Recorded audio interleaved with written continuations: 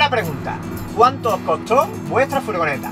Vamos a ver los modelos más típicos de las furgonetas que más eh, nos habéis comentado que usáis. Siguiente pregunta. ¿Cuánto cuesta camperizar una furgoneta? El dinero, el dinero, maldito dinero. Otro gasto importante a la hora de viajar con la furgoneta es el gasto en combustible. Así que, dentro cabecera.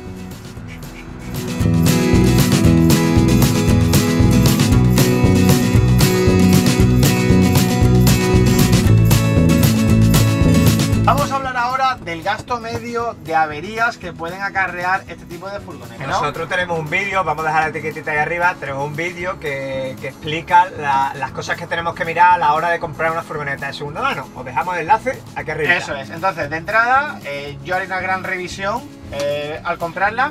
Y cosas que, que precio medio de revisiones, ¿no? Bueno, pues un cambio de aceite y filtro que todo el mundo conoce, pues unos 50 euros como mínimo. Eso, viene- eso suele ser un cambio anual, ¿no? Una, avería, no es avería, sino un, un gasto anual. Un gasto Bien, anual que eh, siempre se suele tener. Sí es cierto que este tipo de furgoneta gasta mucho más aceite que un vehículo normal. Es decir, si, si yo en un vehículo normal del- de un turismo el cambio de aceite es cada 20-30 mil kilómetros, aquí no te llega. El aceite se gasta mucho antes porque consume mucho más Tenemos que tener en cuenta también que las furgonetas que estamos comprando de segunda mano tenemos que estar más atentos porque son antiguas, entonces tenemos que revisar muy bien el aceite, el agua, no vayamos a quedarnos tirados en una tontería de esa Y te sea, quedas, sin, y te quedas sin sea agua. una avería mayor. Es que si te quedas sin agua te deshidrata, ¿eh? El cuerpo humano no puede tirarse mucho tiempo sin beber, ¿eh? Bueno, aparte, el gasto de neumáticos, pues ya lo sabéis, 250, 300 euros el, el cambio de juego de neumáticos, ¿no?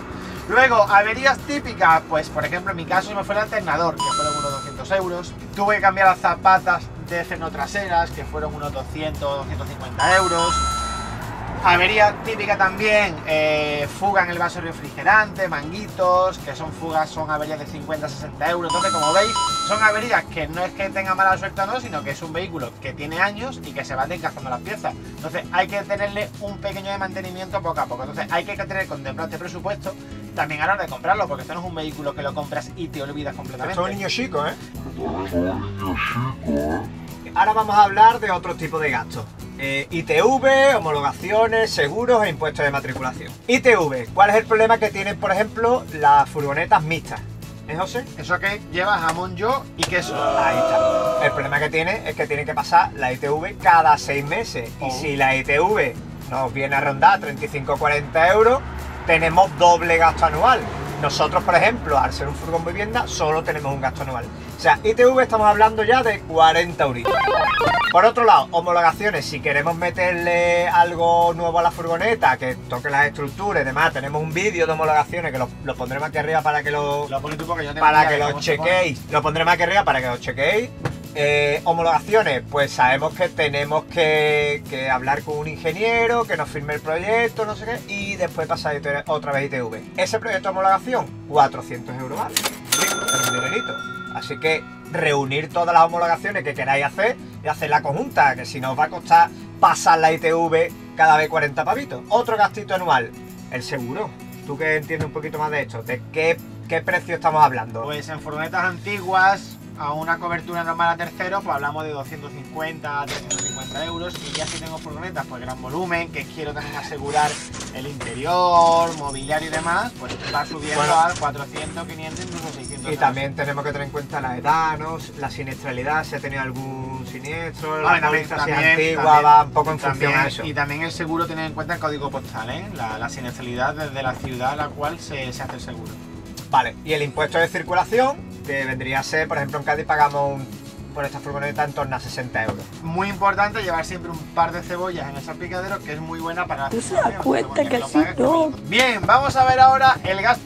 Que tengo los ruidos. Vamos a ver ahora el gasto que lleva pues salir un fin de semanita con la furgo, ¿no? Un gasto medio. Bien, pues. Primer gasto que tenemos de comida y bebida, que un fin de semana podemos entornar. La de única que hay, ¿sabes? 40 euros, 30, 40 euros, depende de lo exquisito que tengamos el paladar. Luego un gasto en gasolina de 20, 30 euros. Y ya viene un gasto añadido si me quiero meter en un área de servicio o en un camping. Al fin y al cabo, eh, si echamos cuentas, es mucho más barato el viaje en furgoneta que viajar yendo a un hotel, a un albergue y sobre todo tengo más libertad de movimiento. Sí, pero habla, habla, por ejemplo, algún fin de semana que hemos salido y Nosotros gastamos días. mucho porque comemos una harta. Comemos mucho, es el problema. Nosotros comemos mucho. Pero una persona normal, a lo mejor con 30-40 euros de comida y con está, y la incluida la, gasolina- bebida y demás, podría ir bien. y la gasolina, pues llenar un tanque, si, si acaso, depende si te vas muy lejos o no. Una pareja ¿Y por más? 80, 100 euros, hecho un fin de semana completo sin ningún tipo de problema. Eso súper bien, gasolina, gasolina y moviéndote por varios sitios. y cervecita en alguna, en alguna terraza. También hay que tener en cuenta si viajas, por ejemplo, con niños o si viajas con mascotas. Quizá. Os dejamos también un vídeo que tenemos un vídeo de viajar con mascotas. De publicidad con Tenemos un montón de vídeos ya, yo.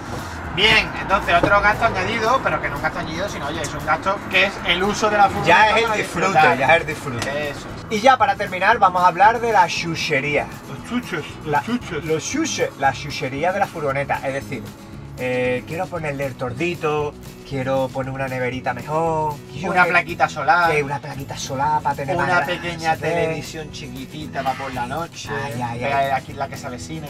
Un colchoncito, mira que me duele un poquito la espalda, le quiero meter un colchoncito con vámonos. Por ejemplo, pues mira, Pa, pues.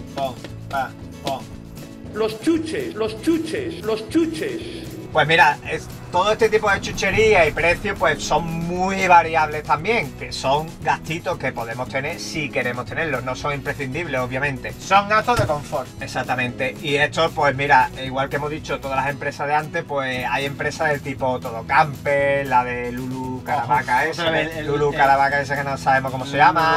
Área Camper, eh, King Camper para un colchoncito, tenemos muchísimas empresas, y como habéis visto antes que hemos citado 200 empresas que todas acaban en van, en camper o en furgo. Aquí pues, igual. Bien, por último, a modo de resumen, queremos contemplar la suma de todos estos gastos al año, para que os hagáis una idea de lo que cuesta mantener este tipo de vehículos. Hemos sumado tanto seguro como impuestos, como un cambio de neumático al año, como alguna revisión, algún coste que se me escapa por ahí. Entonces hemos calculado que son de 800 a 900 euros al año. ¿De acuerdo? Entonces hay que tener en cuenta también que mantener la furgo es un vehículo que hay que echarle un dinerito y son cerca de los 900 euros lo que, me puede costar mantener el vehículo si lo cojo, evidentemente. Estamos calculando que, una persona tenga este coste que haga eh, de 20 a 30 mil kilómetros, por eso hacemos el cambio de neumáticos, revisión, etcétera, en el año. Pues nada, hasta aquí el tema de esta semana. Espero que con todos estos números, precios y gastos hayamos podido ayudar, especialmente a los que a los que estáis iniciando. Como siempre os decimos, dejad en comentarios vuestras experiencias porque así aprendemos entre todos. Este tema se ha hecho también en base a vuestras opiniones, eh, poniendo en Van Camper haciendo preguntas. Hemos puesto en Camper Adicto una encuesta también, preguntitas que nos dejáis. Y muchas gracias también al grupo de, de WhatsApp de Van Andaluz porque nos ayuda también a hacer este tema, ¿eh? Así que ya veis que colaboramos entre todos. Dile a estos chavales las redes sociales, ¿no? ¿Te las sabes o no te las sabes? Ya me lo he aprendido. Este no Estamos en facebook.com barra furgadictos, instagram.com barra furgadictos, twitter.com Va. barra blogger, Va, va. También tenemos una listita de Spotify furgonetera que me la pongo todas las mañanas mientras me ducho. Luego tenemos un grupito de WhatsApp Ah, el grupito de WhatsApp que también ha colaborado. categoría. Y luego tenemos un grupo de Facebook que se llama Camperadicto porque nosotros somos, Somos adictos muy al clásicos. camper. Somos muy clásicos y usamos la palabra camper también. Así que nada, señores, hasta aquí el vídeo de esta semanita. Próxima semana más y mejor. Y como decimos los furgadictos... Carretera. y manta. Ahora ya, chiquillo. Te va a dar con la camarera.